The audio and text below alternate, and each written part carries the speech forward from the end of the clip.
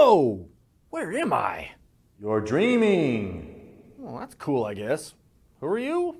I'm your subconscious. Really? Didn't even know I had one. Yeah, it's kind of, uh, in the name. Ooh, ooh, can you tell the future? What? I'm not a psychic, you moron. I'm just a part of your brain. And before you ask, no, I can't grant you three wishes. Hey, I, I can see what you're doing. It's not like you can hide from me.